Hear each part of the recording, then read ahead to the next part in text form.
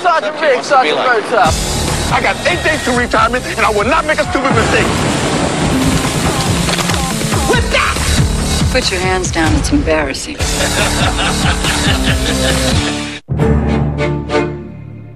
I've always been a difficult man. A fact easily confirmed by the unlucky people around me. Get out of here! Get him off Sorry. But you don't have to.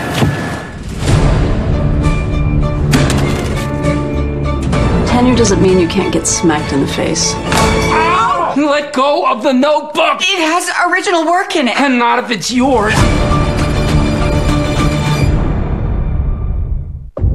You're about to play a crucial role in the next steps the settlement is about to take.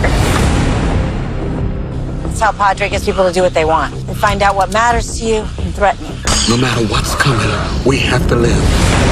We're forming an army to take on Padre. Do you really want to do this? There's nothing you could do to me that's worse than what I'm already living. What do you want? Sometimes we have to learn lessons the hard way.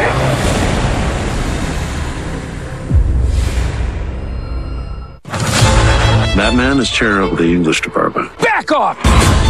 You have no idea what I'm capable of. He gave you this gun for a reason. Use it. Seriously? Walkers are falling from the sky now.